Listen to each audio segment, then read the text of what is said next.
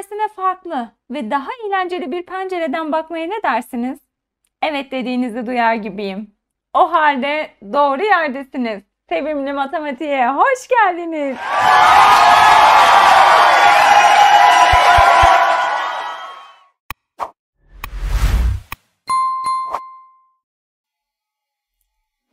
Merhabalar sevgili öğrencilerim. Sevimli matematiğe hoş geldiniz. Nasılsınız bakalım? Şu anda yorumlarınızı görüyorum. Gayet iyisiniz. Çok sabırsızlıkla beklemişsiniz. Hocam açılsın. başlayın başlayın. Harika. Harikasınız çocuklar. Evet. Eğer hazırsanız ilk sorumuzla başlayalım. Olur mu? Ne dersiniz? Haydi ilk sorumuz gelsin ama ilk soruya şöyle heyecanlı güzel bir şekilde gidelim. Neyle gidelim? Bence kardan adamla gidelim. Olur mu? Olur. Gelsin kardan adam. Kardan adam gibi enerjik bir şekilde koşa koşa koşa koşa ve zıplaya zıplaya. İlk sorumuza doğru geçiyoruz. Sorunun cevaplarını sizden de bekliyorum. Ben çözerken mutlaka e, cevaplarını sizde paylaşın. Olur mu? Haydi sorumuza. Bakın kardan adam da çok mutlu soruya geçeceğimiz için. Sorumuza bakalım çocuklar. Soruda bir oyun oynanması isteniyor. Elif ve Fatih bir oyun oynuyorlar. Elif ile Fatih yukarıdaki gibi yukarıdaki gibi bir masanın farklı taraflarında oturmaktadır. Kartların alt yüzlerinde birer tam sayı yazmaktadır. Kim kartını sayı görünecek şekilde açarsa karşı taraftaki kişi aynı hizadaki kendi kartını açacaktır. Karşılıklı kartlarda yazan sayıların toplamı eksi 10'dur. İşte bu bizim kilit noktamız. Karşılıklı kartlardaki yazan sayıların toplamı eksi 10'dur. Elif bazı kartlarını şekildeki gibi açtığına göre Fatih'in açacağı kartlardaki sayıların çarpımı kaçtır? Haydi gelin bakalım kaçmış. Öncelikle karşılıklı kartlarda yazan sayıların toplamı eksi 10 olduğuna göre ben zaten bu sayılarda yani açılmayanlarda e, hangi sayıların olduğunu bulabilirim değil mi? Evet. Bakın şurası sıfırsa sıfırla hangi sayıyı toplarsam eksi 10 eder. E, eksi 10'u değil mi? Eksi 10'da sıfır topladığımda eksi 10 olur. Sonra burada eksi 5 var. Karşıda Elif'in kartında ne yazarsa ikisini toplarsam eksi 10 olur. Yani 5 lira borcum var. Kaç lira daha borcum olmalı ki eksi 10 olsun? E 5 lira daha borcum olmalı ki borç olduğu için de eksi yani eksi 5 olmalı ki ikisinin toplamı eksi 10 etsin. Şimdi şuraya bakıyorum. 4 ile kaçı toplarsam eksi 10 yapar. Kaçı toplarsanız çocuklar eksi 10 4'ü değil mi? Eksi 14 ile 4'ü topladığınızda 14 lira borcunuz var. 4 lira paranız var. Borcun bir kısmını ödediniz. Kaç lira kalır? 10 lira borç kalır. Borç olduğu için eksi 10'dur diye düşünebilirsiniz. Şimdi buraya geldik. Eksi 8 ile neyi toplarsam eksi 10 yapar. E, eksi 2'yi toplarsam eksi 10 yapar. Harika. Bütün aslında e, arkası çevrilmeyen kartlarda da hangi sayıların olduğunu bulduk. Hangi tam sayıların olduğunu. Bizden ne istiyor? Fatih'in açacağı kartlardaki sayıların çarpımı. Yani Fatih'in açacağı iki tane kart var. Eksi 14 ile eksi 10. Demek ki eksi 14 çarpı eksi 10 mu demeliyiz? Evet. Peki çarpma işlemi yaparken ne yapıyorduk? Önce işaretler diyorduk. Önce eksi ile eksinin çarpımı nedir söyleyiniz bana. Artıdır. Sonra 14 ile 10'u çarpacağız. Kolay yoldan çarpma. 14 ile 1'i çarparsınız. 14 yanına da 0 eklersiniz. 140. Demek ki eksi 14 ile eksi 10'un çarpımı kaç oluyormuş? Artı 140 cevap B seçeneği oluyormuş.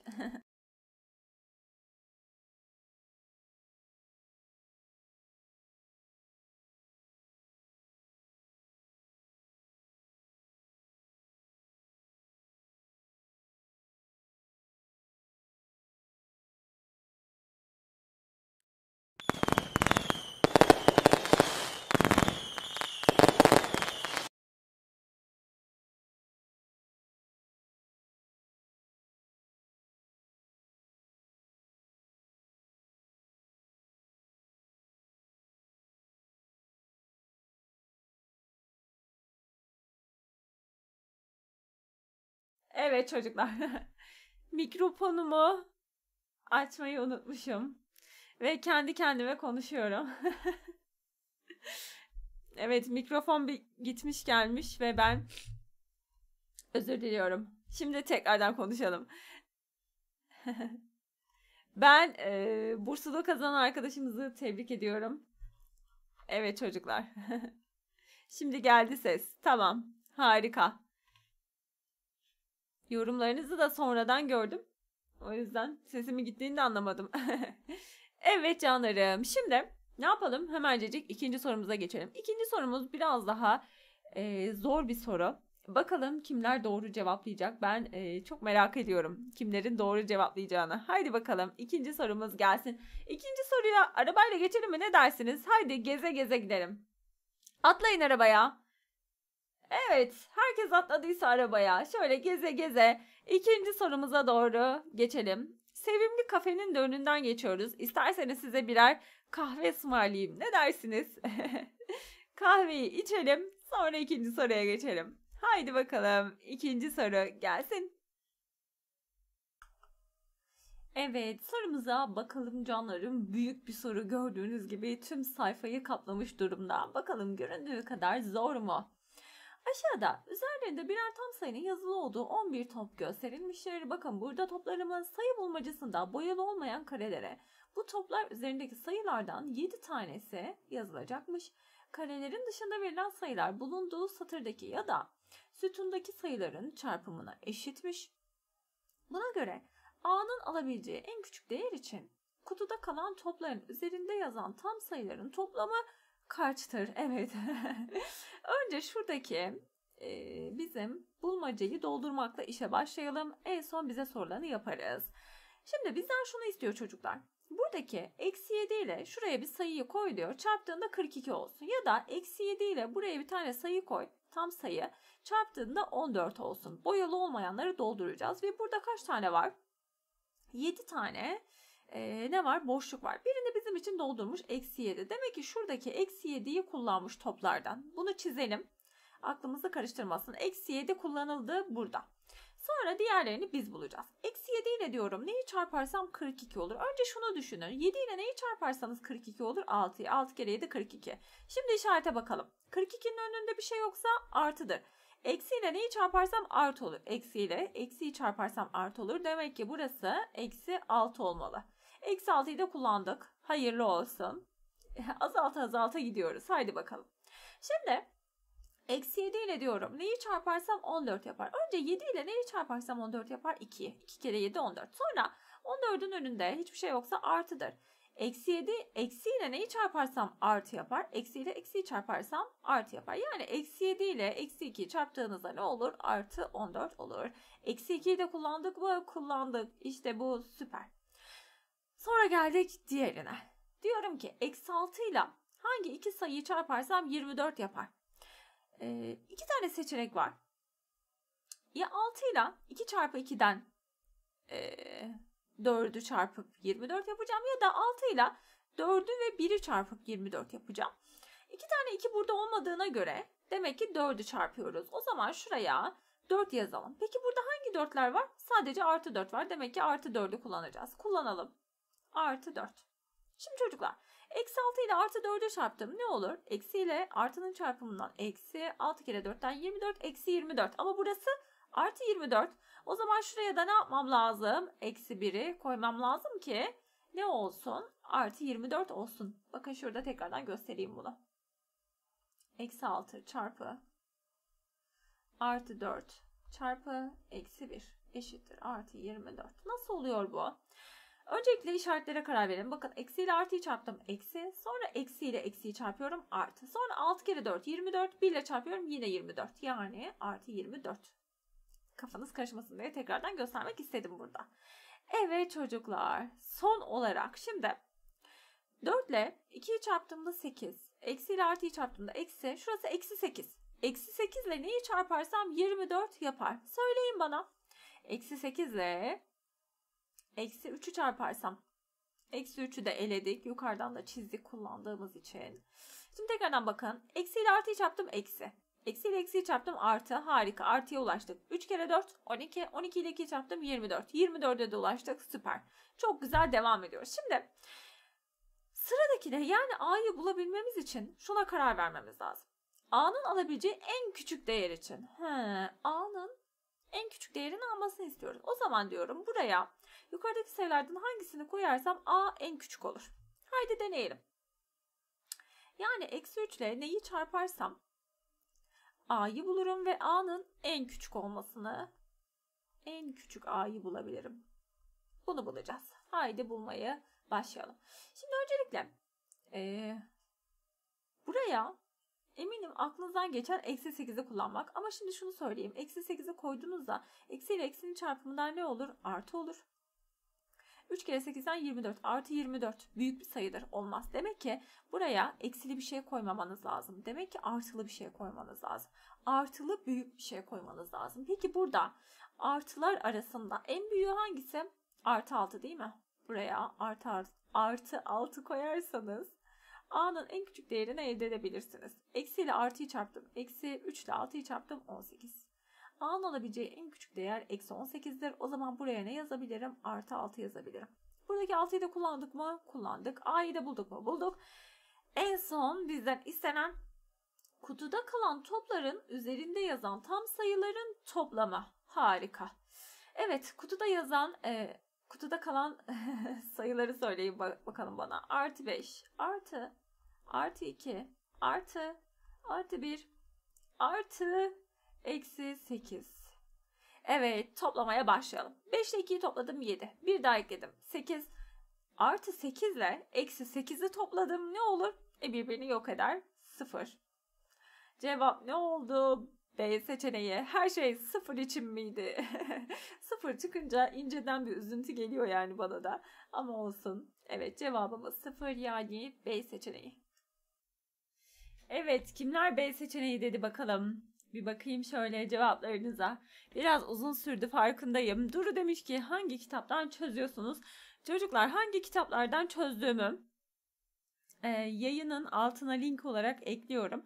E, bakabilirsiniz o kitaplara, çözdüğüm kitaplara.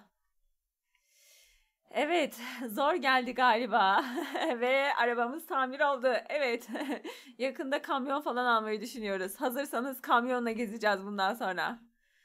Nasıl olur? Belki sıcak hava balonu falan.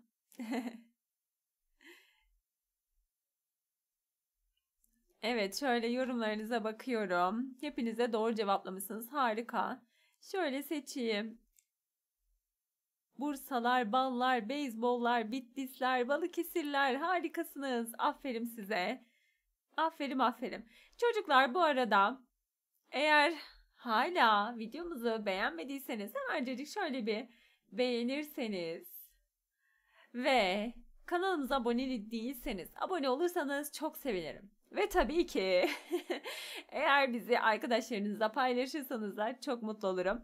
Hatta şöyle bir şey yapabiliriz. Bizi izlediğiniz videolarınızı çekerseniz e, o, ve bizi etiketlerseniz Instagram'da da paylaşabilirim. Hatta çok sevinirim.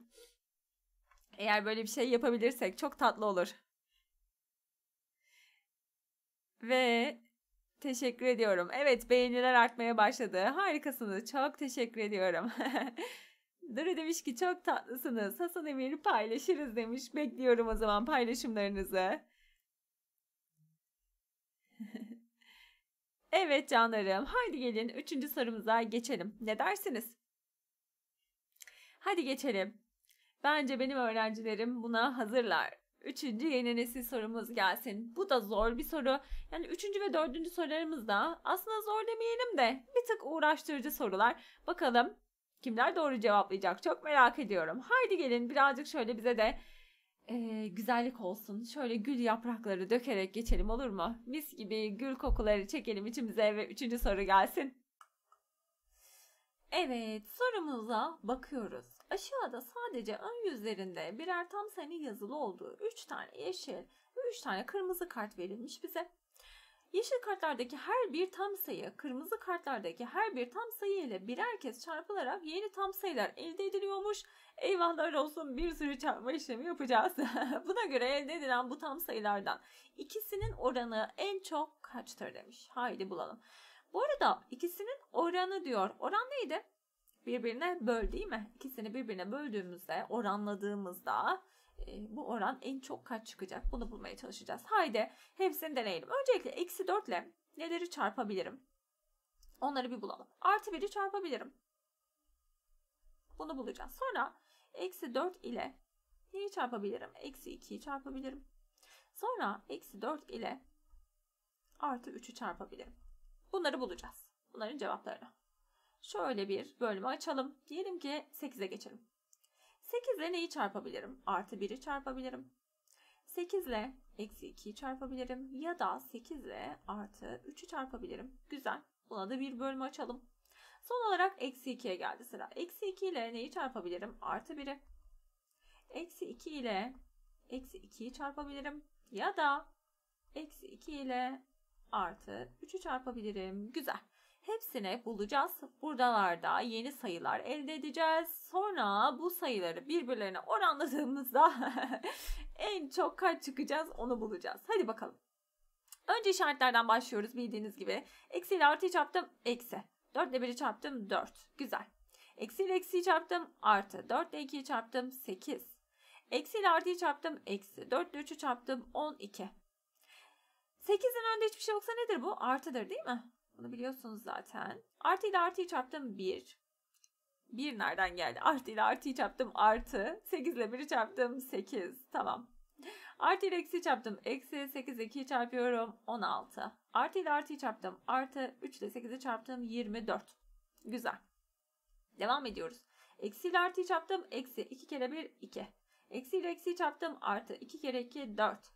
Eksi ile artıyı çarptım. Eksi 2 kere 3 6. Evet bulduğumuz sayılar burada çocuklar. Eksi 4 artı 8 eksi 12 artı 8 eksi 16 artı 24 eksi 2 artı 4 eksi 6. Evet ikisinin oranı en çok kaçtır dediğine göre birbirine oranladığımızda en çok çıkacak şekilde bulmamız lazım. Bir oran yapıyorsak şuraya yazayım. Şimdi bir kere en çok dediğine göre artılı bir şeyler olsun. Olmalı. Çünkü burada eksiler artılar var. Artılı bir şey. Artılı bir şey elde edebilmem için ya yukarıdaki de aşağıdaki de eksili bir şeyler olacak ya da yukarıdaki de aşağıdaki de artılı bir şeyler olsun ki sonuç artılı çıksın. Değil mi? İki ihtimalimiz var. Bu sorunun cevabı için şöyle ayırayım. Şimdi ikisi de eksi olacak şekilde yazarsak eksilerin ne yapmamız lazım? Yukarıdakini eksilerin en küçüğünü seçmemiz lazım. Eksilerin en küçüğüne bakıyorum. En küçük, en küçük sayımız burada. Eksilerde hangisi? Bakıyorum, bakıyorum, bakıyorum. Eksi 16 değil mi? Sakın ha böyle hocam eksilerde en küçük eksi 2 falan gibi bir şeye girmeyin. Bildiğiniz gibi eksi 16 ondan daha küçüktür. Daha aşağıdadır. Böyle dikey bir e, sayı doğrusu düşündüğünüzde ya da yatay bir sayı doğrusu düşündüğünüzde daha solda kalır. Ya da dikey düşündüğünüzde daha aşağıda kalır. Unutmayın. O zaman eksi 16 olabilir. Harika. Altına, altına da en en en büyüklerden eksi olarak en büyüklerden birini seçmemiz lazım. Hangisi olur? Eksi 2 olur. Güzel. İkisinin bölümü birbirine ne bulunur? 8. Harika. Bir de artılara bakalım. Artılardan da olabilir bu. Artılarda en büyüğü yazmamız lazım yukarıya. Haydi bulalım. Artıların en büyüğü hangisi? Bakın burada artı 24 yazdım. Artıların en küçüğü bunu artık normal ilerliyoruz. Yani gerçekten en küçüğünü buluyoruz. Artı sayılardan yani pozitif sayılardan en küçük hangisi bulduklarımız arasında artı 4. Güzel. 24'ü 4'e böldüğümde ne buluyorum? 6. Hangisi daha büyük çocuklar? Artı 8 değil mi? Yani eksi 16'yı eksi 2'ye böldüğümüzde bulduğumuz artı 8 e, oranlar arasındaki en büyüktür. Bizden de bunu istiyor zaten. O zaman cevabımız da ne olacak? D seçeneği yani 8 olacak. Ama eminim büyük bir çoğunluğunuz burada e, C'ye gitmiştir gözler diye düşünüyorum. Aman diyeyim çocuklar dikkat edin. E, bu şekilde tüm size verilenleri kullanmanız lazım. Hepsi için ayrı ayrı bölmeler oluşturun. Hepsini ayrı ayrı gruplandırın ve öyle bakın sonucuna. Evet canlarım kimler doğru cevapladı bakalım. Kimler D seçeneği dedi hemen bakalım. Şöyle bakıyorum yorumlarınıza. Gülden demiş ki hocam ilk defa dersinize girdim. Şimdiden çok sevdim dersi ve sizi çok teşekkür ediyoruz canım. Bundan sonraki derslerimize de bekliyoruz seni. evet. Gamze demiş ki 24 buldum ama yok. evet zor bir soruydu. Kabul edelim. Biraz düşündürücü bir soruydu. Uzun da sürdü değil mi? evet çocuklar. Haydi gelin ne yapalım? Diğer sorumuza doğru geçiş yapalım olur mu? Dördüncü sorumuz gelsin mi? Ne dersiniz? Haydi gelsin bence. Peki nasıl gelsin? Ee, ben size bir helikopter göndereyim. Helikopterle geçelim. Olur mu? Haydi helikopterimiz gelsin ve hepimiz helikoptere dolaşalım, doluşalım ve gökyüzünde sizlere sizlere son sorumuza doğru geçelim. Son bir tane sorumuz var. Dördüncü sorumuz. Onu da çizelim. Sonra da dersimizi bitirelim. Haydi gelsin. Evet sorumuza bakalım. Elçin öğretmen üzerlerinde tam sayı yazan kartları aşağıdaki kutuya atıyormuş. Sonra ardından öğrencilerden kutudan 3 tane kart seçmelerini ve kartlarda yazan tam sayıları çarparak sonucu bulmalarını istiyormuş. Sonucu bulan öğrenci kartları tekrar kutuya atıyormuş. Sıra Levent'e geldiğinde Levent'in seçtiği kartlardan birinin negatif tam sayı olduğu görülüyormuş. Burada bir mantık hatası var. Kartlardan birinin değil sadece birinin diyelim. Daha kesin bir sonuca gidelim olur mu? Kartlardan sadece birinin negatif tam sayı olduğunu görüyor. Buna göre Levent'in elde edeceği sonuç en az kaçtır? Şimdi Levent 3 tane sayı seçecek. Şöyle. Sonra bu 3 tane sayıyı çarpacak ve bir tane ne bulacak? Bir e, sonuç bulacak. Şimdi bu seçtiği e, sayılardan birinin negatif olduğunu biliyoruz. Negatifse ve bizim sonucumuzun en az olmasını istiyorsak negatifler arasından en küçüğü seçeceğiz. Hangisi? Eksi 5 tabii ki. En küçüğü o. Eksi 5'i seçtik. Diğer ikisi ne olacak? Pozitiflerden seçeceğiz. Zaten bu eksi olduğu için bunlar da pozitif olduğu için ne olacak? Sonucumuz zaten negatif olacak. O zaman bu ikisini pozitiflerden en büyüklerinden seçelim ki çarpıldığında negatif olarak daha küçük bir sayı çıksın. 2 ile 3'ü seçelim mi? Seçelim çünkü en büyükleri bunlar. Demek ki bu 2, bu da 3 olabilir mi? Evet olabilir. Artı 2, artı 3. Eğer burada sadece birinin demeseydim iki tane sonuç çıkıyordu. Yani hem bunları eksili alabilirdiniz. O şekilde bir sonuç çıkardı. O zaman kaç çıkardı? Eksi 60 çıkardı. Hem de artılı alabilirdiniz. Eksi 30 çıkardı. E, kavram yanılgısı olurdu. O yüzden sadece birinin negatif tam sayı olduğunu görülüyor diyerek bunun önüne geçtik çocuklar. Şimdi bakalım ve çarparak bulalım. Eksi 5 ile artı 2'yi çarpıyorum. Eksi ile artıyı çarptım. Eksi 5 ile 2'yi çarptım 10. Sonra eksi 10 ile Artı 3'ü çarpıyorum. Eksi ile artının çarpımından eksi. 10 ile 3'ün çarpımından 30. Eksi 30'u buluyorum. Cevabımızda ne oluyor? B seçeneği oluyor. Evet, kimler B seçeneği buluyor bakalım canlarım. evet, yeni gelenler var. Harika. Emine demiş ki hocam ben de ilk defa girdim ve hemen ısındım. Teşekkür ediyoruz canım. Ela demiş ki sizi seviyoruz hocam. Ben de sizi seviyorum. Şöyle kalpler gönderiyorum hepinize. Yusuf Emir hocam artık çarşamba 21'de mi olacak dersler? Evet çocuklar bir aksilik bir e, o güne bir şey olmadığı sürece inşallah bundan sonra çarşamba günü saat 21.00'da burada buluşacağız. Her pazartesi günü saat 20.00'da da konu anlatım videonuz gelecek. Tabi bazı haftalar ee, gelen haftalar yani paylaşacağız hepsini. Evet çocuklar. Şimdi uçakla gideceğiz dedik ama uçağı göndermedim değil mi? Haydi şöyle bir helikopterimiz gelsin.